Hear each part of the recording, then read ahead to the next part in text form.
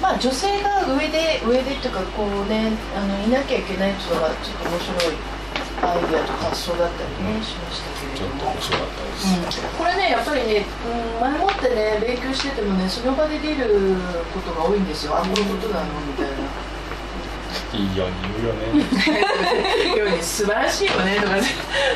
どんなにすごいことやってるかって言いたくてたまらない先進24のは先進ってくるんですけどこれはどう見ればいいのはい。えー、代償を払っての進化と進化という感じですね、えー非常に長いシンボルで嫌になっちゃうんですけども、えー内面のスピリチュアルな達成に完全に集中して、男が身体上の外観と清潔さと全く顧みない状態で座っている。う長いですっごい長いですね。松村さんの翻訳とかだとなんだっけ？えっと身だしなみの整ってない男って訳してるんですそれが、えーとうん。まあ、ジョンジョンズ版ですね、うん。うん。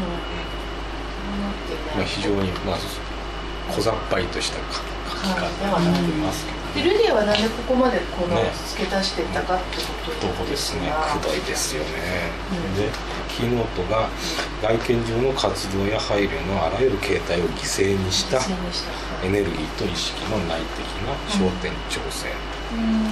えー本当に非常にそれだけでもうごちそうさまになっちゃう気分の文ですけどもね、でその23度がそんな風にじゃあうまい具合にね、うん。洗練されていくあの自分の能力を磨いていって、高度なテクニックをこう見せつけていくというような感じであれば、でそれを受けてさらに、えーまあ、それをさらにまた深めていくという感じなんですけれども、その代わりにあの何か代償を払うよと。あ何その深めていくからこそ何それを推し進めていくからこそ、他の方は目もくれなくなってしまって、うん。入れないその身だしなみも整ってない状況になってしまう、頭ボサボサでもいいから、うん。後ろに走っててもいいから何かそうやってやってしまうと。いう、私プロジェクト始まると3日ぐらい頭洗わなくて平気なのに、うん、私はもっとですけどね。そんなこと自慢した。ってしょうがないじゃないでもそれ何か代償っていうかこうやってることに集中してるって考えればいいんそうですか？いうことですね、文章長いけどでも言ってることはすごく短くわかるんですがわかりやすいん。ですただここまでルディアが付け足したっていうのは何何なのかって思って。だからどうしてもね、そのスピリチュアリズムっていうのを、うん。あの強調したかったんだとあ思うんですよ。スピリチュアルな達成にってこと、うんそうそうね。で、うん。まあそのね代償を払ってっていうこと、なんそっちに関わっていくから推進するからっていうことで、うんあのうんどうしてもね、うん。ここの部分を強調したい内内面のスピリチュアルな達成っていう。やっぱりあの、ルビアのね思想的な部分として、うん。もうそっちの系統のものはかなり強く色濃く出てるのでねしょうがないかなという。じゃあ獅子座の精神っていうのは別に合理的ななんかのあの成果物を上げるとかそんなんではなくて、うん自分の情熱の達成のためにっていう感じなのかなですね。はい。実にそうで、まあそれで一つもう一つじゃあ私からキーワード出すとしたら自己訓練。ああ自分の自己訓練、うんそれさっきもなかったっけかうん、さっきとはちょっと違う。一文字抜けて漢字がね本当にね書けないんだよなえ訓練だと訓かこれだね酔いしれて脇目も振らず没頭するみたいなそういう感じです実にそんな感じですね。ああなるでまあよ酔っちゃうっていうのかな？ワイさんいいですねその言葉ね。なんか結局戻ってんだよね。二十あ一なん本当に二十一なんかだとそうやってね、二十一で中毒だったのが、うん、すごく中国に戻っちゃったで技を披露した後それにさらに深めていくみたいなもんですよね。まあその時、一応は洗練に向かってるんだし、あのまあそそんなね中毒的なそういう酩酊感っていうのとはまた違うのかもしれないんだけども、一応ねそうやって自己訓練っていうのをキーワードに出しましたけども、あのコントロールの方向にはだから向かってるわけですよ、一応はね、だけれどもすごくじゃあその分何かねこの24年だと何かを犠牲にしちゃってるっていう、そのその部分が出てくるっていう感じだね。じゃあそれに近しい人います？えー、そうですね、はい。じゃあ一つ有名人挙げますと、えー、ロバート・デ・ニーロ。ロバート・デ・ニーロ、ロ、名前は聞いたことあるえー、えー、マジ？知識群がって映画とかねテレビあんまし見ないですよね。え何に出てた？人マジっすか？言って。いや ちょっと今ドッキリびっくりしちゃっマジで。た20年ぐらいねテレビ見てないからロバート・デ・ニーロデ・ニーロこの人何に出てるんでタクシすかードライバーとあかタクシードライバー見たことない。あのだ主人公のタクシードライバーですよ、あんまりイメージがなかったディアハンターあディアハンター。とか、うん、あとね、えー、ゴッドファーザあーー2ですね、私も好きなのばっかり。あですそうなんだ。気ののない。あそうなんだ。そう気のないもう全然興味がない。私そんな映画どうでもいいしいやそんなことないですよ やっと鈴木さんが乗ってきた。いつもいじめられてるからね。今日はあんましないからありーとかって思ってたんですよね。これはロバート・デ・ニーロのどこで出てる。ねんだろうなんつってもほらあの、じゃあ北原さんご存知ないので、ん。そこで説明します。それと含めて説明しますけど、非常に役作りに凝ると、ん。もうじゃあ実際に例えば歯を抜いちゃうとかね、えー？とか。どのうん。役柄の時いろいろ髪の毛を抜いちゃうとかさ髪を抜く歯を抜く。とかね、はい。そういったことまでもう実際になんか役作りをはい。リアルにやっていくっていうことで、うんまあ凝り方をする、うん。だからそういうのデニーロメソメソッドみたいなのが言われるわけですよ、だからそのくらいのこそういうことがまあ一つ自己訓練としてね、こうやるんだろうしっていう部分、役者としてもね、部分もあるし、まあだからその代償を支払ってっていうことでもあるし、あるいはそのね、役に没入する先進するっていうことでもあるわけだしという非常にもうこのシンボル脇目を振らずって感じねこのシンボルそのものじゃないかあなってね、集中型。非常に、あとは？あとはええあとはじゃあ、まあ、非常に似た感じですけれども、マドンナですね。あマドンナね、はいはい。彼女もあれだね。肉体改造とかでさまざまなことしてますね、この最初からそんなんだっただんだんだんだんハードになってって。ますすね。すごいです。よ、この間のニュースは面白かったですけえどね、何？何なんかトルコで、うん。あのうんコンサートをやって、うん。うんあの沸かせたっていうねちょっと、うん。脱いで見せた、ああ上半身？うん、ちょっと胸を出しちゃった。ああなるほどね。なのでね。前やってたっけ？あの人やらなかったけ？ど黒人の歌手の誰かがじゃあねあジャネット・ジャクソンあポロってやってバーってなってそうですねるああいう感じ？あーこうブラジャー。バンって外したわけめくったみたいな。自分でやったんだ。そう自分。あー。それがどこでここと結びつくの？いやいやふと思う。最近それで話題になったなって思い出しただけですよ。あれさやっぱりレディー・ガーガがさ出てきてるから焦ってんのかなとか。そんなことはないと思いますないんだ。だってさこの方もう40ぐらい？いやもうもっとですよ私は50代？我々より上ですよあそうなんだ。50近いのかな、うん。でも肉体あそこまで保ってるってことはよっぽどなんか集中して。鍛えまくってるんでしょうねっていう。じゃあ他のこと顧みないってことは生活とか他のことうんなんていうかな無造作になってるのかしら、うん。他とかでそうねかも、まあ、私生活がねおざなりになっちゃったりするから、じゃあ離婚もするのかなと。あ離婚したんだ、じゃないですか。うん、ショーンペンだっけ？離婚したのはねこの後出てきますね。でねあショーンペンがダメンズっていうのもありますし。なんか言いたい放題だな。あとカバラに系統してたよね一時期ね。あそうなんですか。今もうやってないのかな。カバラの教会通ってたらしいですよ。あそうなんですか。それも彼女の中の、まあ、肉体改造というか自分の何かを変えるための訓練とかっていうものであって、うん。信仰って感じではないんですよね。なるほどね。うん。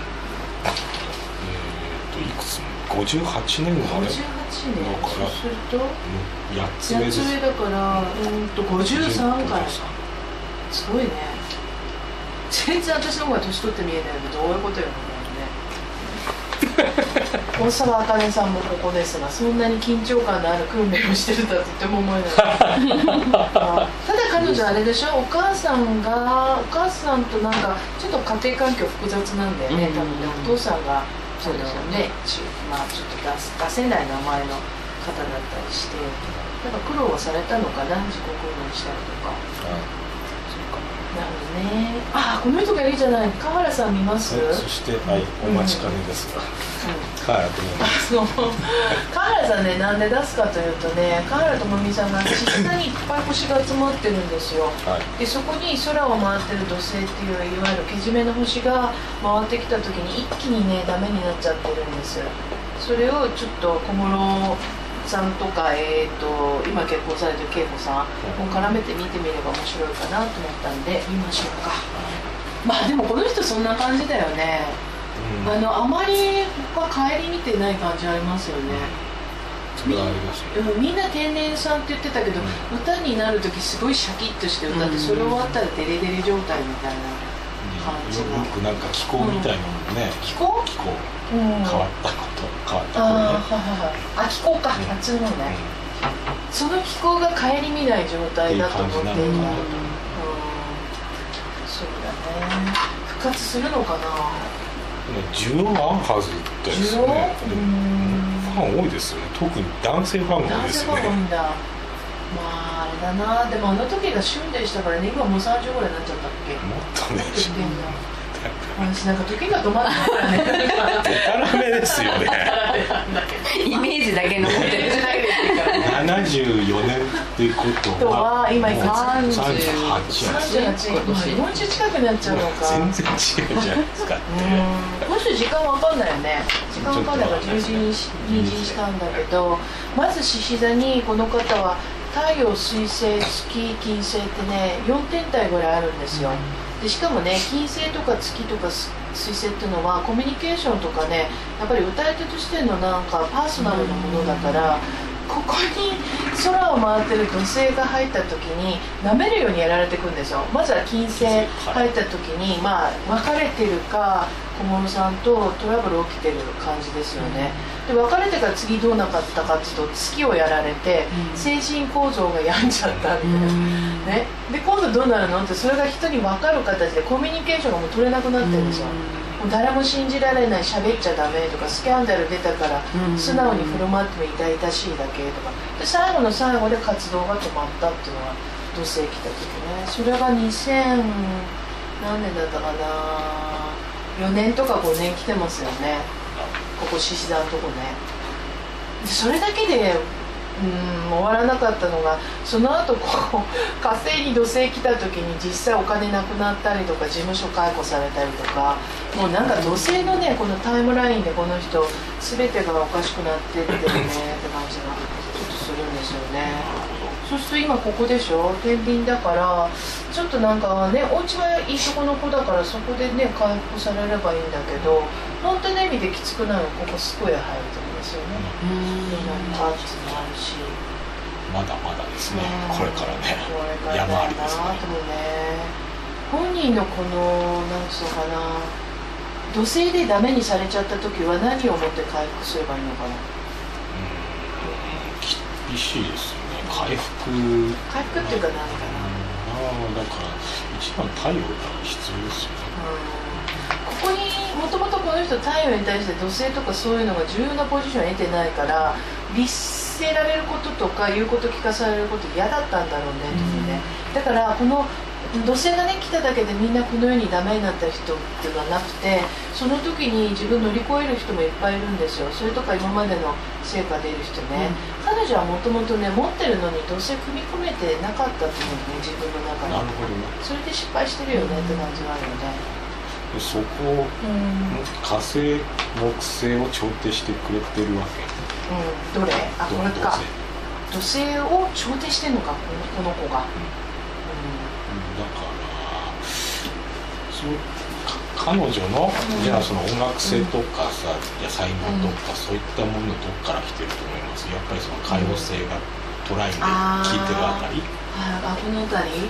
そうね金星と海王星だからこの人の歌ってやっぱりあのチャラチャラしてるね自然体の愛らしさじゃなくて、うん、歌の力ってものはあると思いますよね、イマジネーションというか立ち上がってくるものがあるから、それが小室のテイストとやっぱりドッキングしてうまくいったんじゃないかな、イメージが。売れたんだな。売れたんだと思う、この人以外のねイメージ立ち上げてくれるようなあの作曲とか作詞提供してくれる人がいないとダメですね。金星どこだっけ？えっとサンサンドサンドでサンドってなんだっけ？さっき見た。さっき見た。けど忘れたみたいな。サンドだねぴったりね。サンドってなんだっけあああの先週っていうか水曜日やったんですよ。サンドはねヒッピーだっけ。なんか女の人ノーブラってやつじゃなかった？違うっけちょっと待ってね。すごいね。火がまだ吹き上げてボーボーの状態。ですね。ノーブラ。ノーブラだよね。あのノーブラの女の人が自分の若さに、あのと老化に抗うように、なんか、うん、とにかくなんとかね自己表明していこうみたいなところでしたっけ、まあ、限界突破、限界突破みたいな、でそこに海王星という柔らかい星がトライに入ればやっぱりね小室さんがねその彼女を引き上げる時にねかなりねだって底辺からすごいグイって引き上げたんだと思いますよ、ボイトレもやらせて高音域ねあの開発してとか全部ね。だからこの人ねあの自分の限界突破させてくれるぐらいにズブズブに、うん、私生活も全部ね共にしてお金払ってくれてさ、うん、お洋服も買ってくれてって人じゃないと無理かな。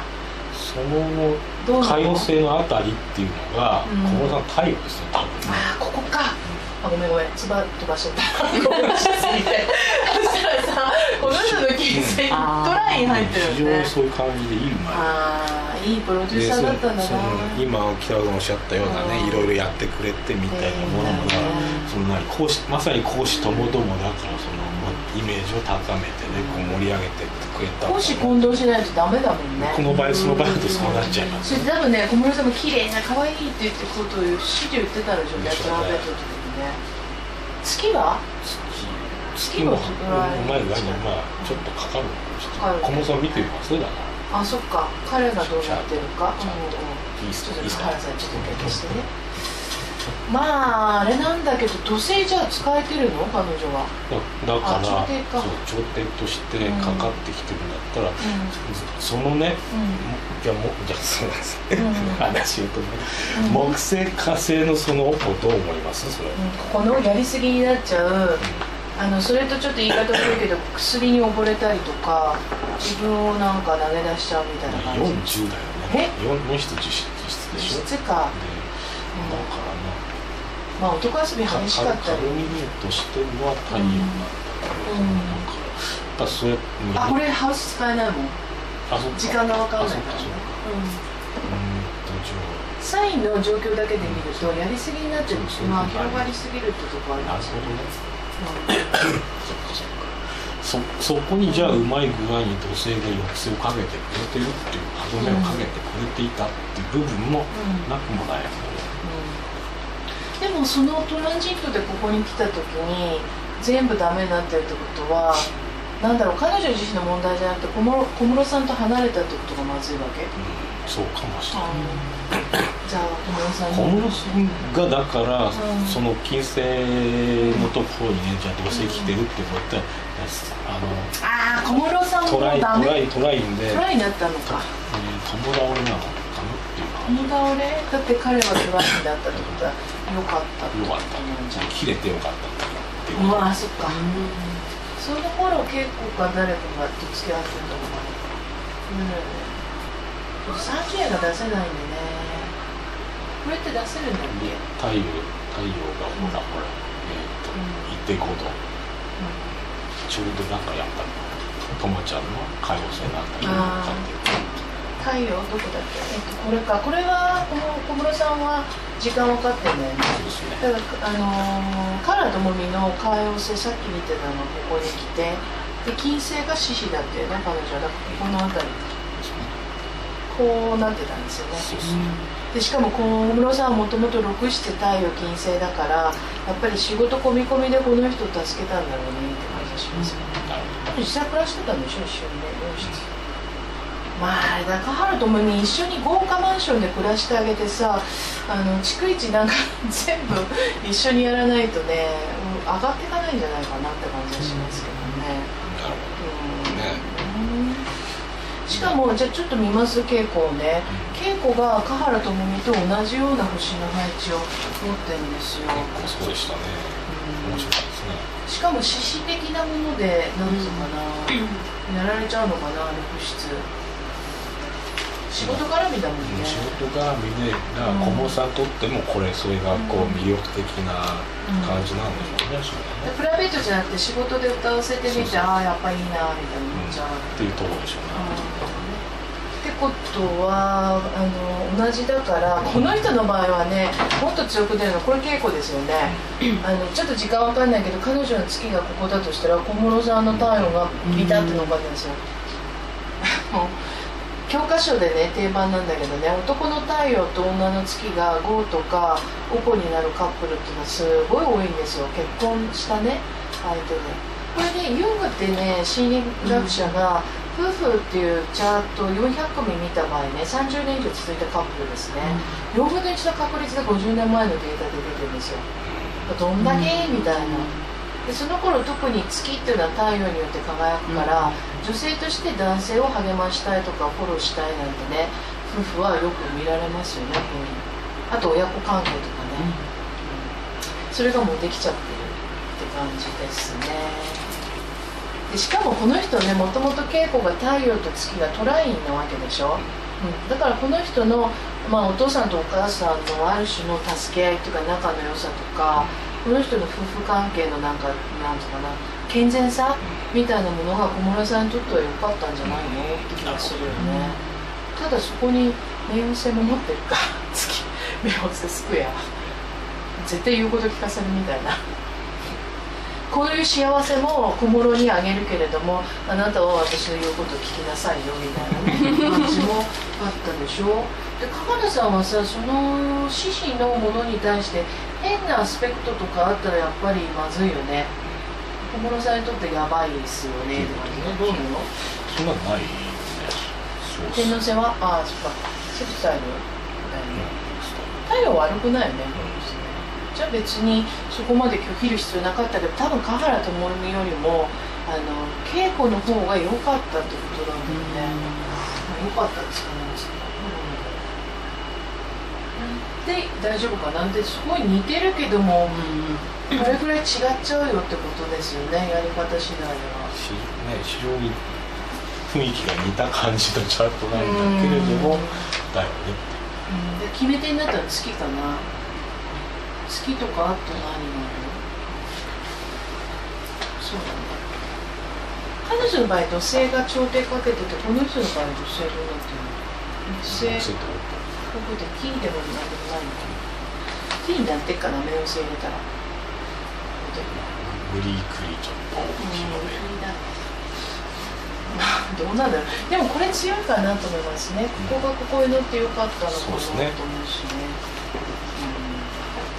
うん。あとほらあの鈴木さんが言ってたさスクエアじゃないけど火星太陽の絡みというものがありますね。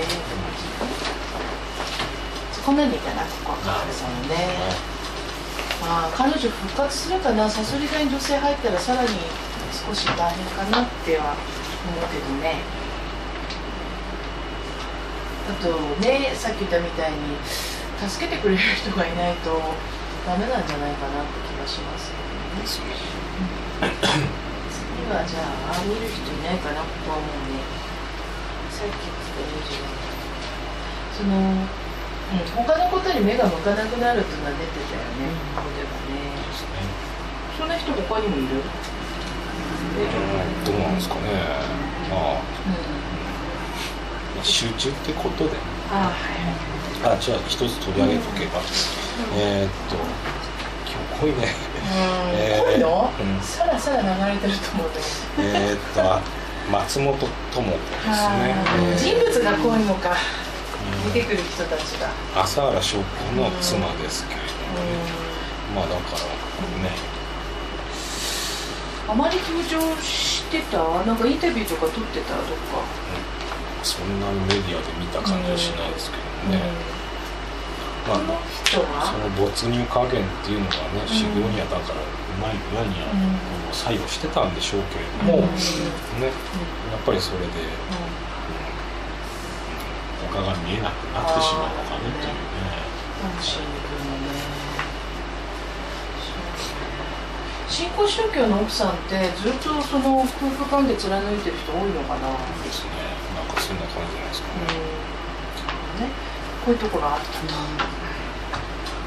前ね「ムーン」とかっていう雑誌にもね。オウム真理教有名になる前広告出してたらしいですよね。裏表紙とかなんかわかんないいうか朝原翔君あのなんか空中浮遊ってあれムーで取り上げたの？のあそうなんだ。それでちょっと流行っちゃったとこもあったよくわかんないけどさ。じゃあ25度参りますか。はい